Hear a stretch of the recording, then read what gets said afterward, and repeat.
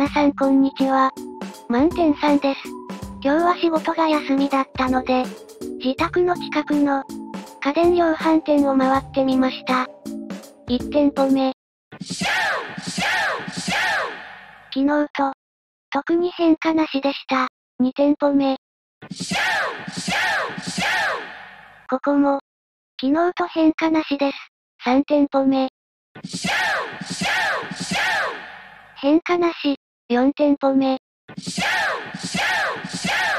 今日は、どの店舗も、変化はありませんでした。今日の収穫。特になし。終わり。